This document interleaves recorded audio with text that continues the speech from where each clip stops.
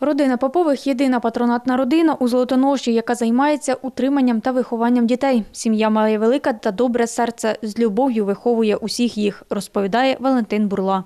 В побуті родина Попова е, це єдина патронатна сім'я в місті Золотоноша, родина з великим серцем, е, яка займається утриманням дітей. Родина виховує та доглядає дітей від народження і до 18 років. Вони проживають у патронатній родині до 6 місяців. Потім повертаються до батьків або ж можуть бути влаштовані у дитячі будинки. Протягом п'яти років родина Попових виховала та реабілітувала більше 35 дітей. У вільний від роботи час я допомагаю дружині по вихованню дітей. Разом з родиною створили патронатну родину. З 18-го року працюємо.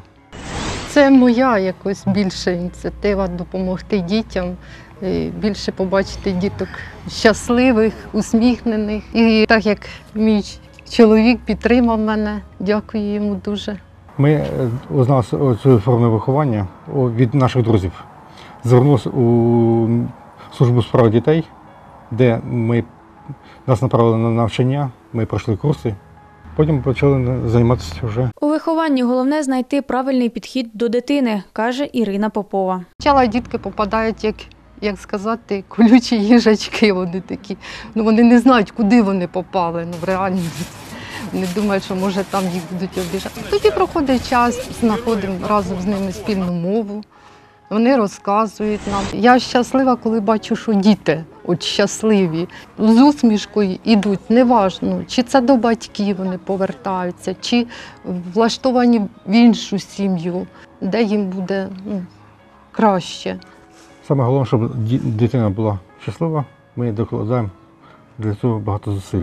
Діти, які виховуються у патронатній родині, задоволені опікою, мають і справи у побуті, і розваги. Каті подобається грати у лего та допомагати по господарству. Подобається стрибати на батуці і гратися в лео з хлопцями, в пісочниці гратися, допомагати, поливати квітки. Олександр Попов це дуже досвідчений майстер, який працює більше 28 років у Черкасиобленерго. Завдяки його досвіду будь-які роботи на повітряних лініях виконуються якісно та вчасно. Крім роботи енергетиком, чоловік зміг реалізувати себе як доброзичливий та чуйний вихователь.